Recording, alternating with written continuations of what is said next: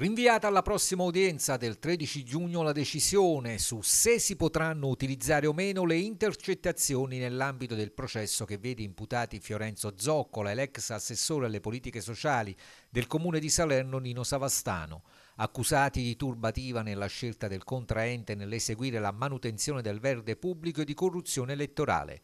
Il secondo collegio penale dovrà adottare il provvedimento in un contesto legislativo caotico sulla materia inutilizzabili per gli avvocati Agostino De Caro e Giovanni Annunziata, difensori di Savastano, e per il professor Giuseppe Della Monica che assiste Fiorenza Zoccola, valide invece per il PM Guglielmo Valenti.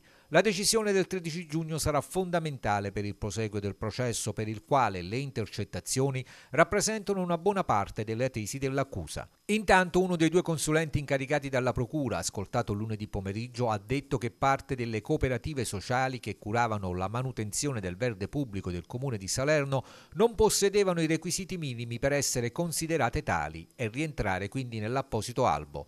Molte cooperative, ha detto in aula il consulente, non avevano il 30% dei soci appartenenti a categorie protette. I controlli del Ministero dello Sviluppo Economico, che dovevano verificare il rispetto dei requisiti, dovrebbero essere annuali.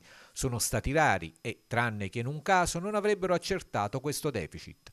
In ogni caso le verifiche dei requisiti delle cooperative non spettavano al comune che doveva verificare solo se le COP erano iscritte all'elenco delle cooperative sociali e non il possesso degli elementi per essere iscritte, controllo che compete alla vigilanza ministeriale. Anche questo argomento sarà oggetto di approfondimento nell'udienza del 13 giugno prossimo.